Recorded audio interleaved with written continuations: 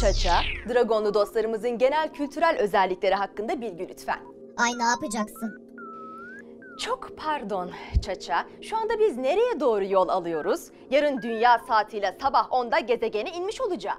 Sen de şimdi mi bilgi istiyorsun? Hep işini son dakikaya bırakıp elimi ayağımı bir pabuca sokuyorsun. Hangi el ayak? Alt üstü bir tarama yapacaksın veri depondan.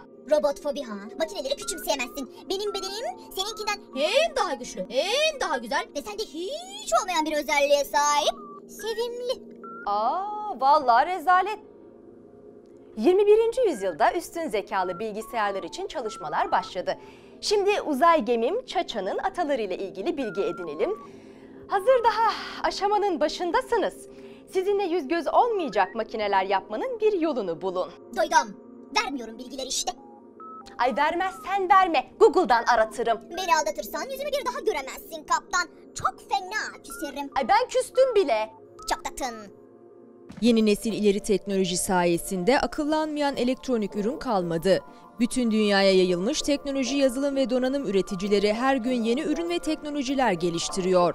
Bunlardan bir tanesi de Quadro Computer olarak adlandırılan ileri akıllı teknoloji ürünü bilgisayar.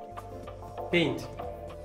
Quadro'nun sesli komut alma, ses tanıma, metin yazma, metin okuma, metni ses formatında kaydetme gibi yenilikçi özellikleri var. Google. 2014 Design Awards ödülünü alan. Quadro konuşarak yönetiliyor, söylenileni anlıyor ve yazıyor. Böylece okuma yazma bilmeyen veya özel eğitime gereksinimi olan çocukların ve görme engelli kullanıcıların teknoloji ve internet olanaklarına erişebilmesini de sağlıyor.